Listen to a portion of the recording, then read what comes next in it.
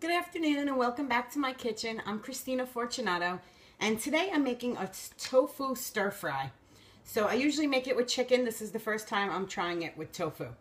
So first you want to take the tofu and you want to drain it all out and you might want to put something hard on top of it and let it drain for an hour or even overnight. Then you want to work on your marinade. So with my marinade I put um, a teaspoon of ginger, I put soy sauce, I added sesame oil, um, a clove of garlic, all chopped up, and I marinated the tofu with that overnight. So after that, I put it in the pan and I cooked each piece just a little brown on each side, maybe four to five minutes on each side. In another pan, I had already put my onions and my carrots, and you could pick three or four or five vegetables that you like or you prefer.